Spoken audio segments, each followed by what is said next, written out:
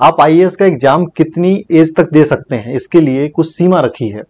और उस सीमा के अंदर ही आप आईएएस का एग्ज़ाम दे सकते हैं। जब उस सीमा को पार कर जाएँगे तो आईएएस का एग्ज़ाम देने का मौका आपको नहीं दिया जाएगा। तो उस सीमा को हम समझते हैं। तो यहाँ पर गवर्नमेंट ने कैटेगरी के हिसाब से सबको अलग अलग सीमा दी है। मतलब एज लिमिट रखी है। और अगर पहले हम जनरल की बात करें तो यहाँ पर 21 साल से लेकर 32 साल तक जनरल वाले एग्ज़ाम दे सकते हैं। वहीं पर ओबीसी के लिए लिमिट है 21 से 35 मतलब उनको तीन साल की छूट दी जाती है। वहीं पर एससी की बात करें या एसटी की बात करें तो उनके लिए जो एज लिमिट की बात है वो कही गई है इक्कीस से लेकर सैंतीस के बीच में। मतलब उनको पाँच साल की छूट दी जाती है। तो इस प्रकार से आप जिस कैटेगरी में आते हैं, उसी हिसाब से अपना टारगेट बना के चलें कि मेरी एज अभी क्या हो गई है, मेरे पास कितना टाइम है, और उसी हिसाब से अपनी तैयारी करें।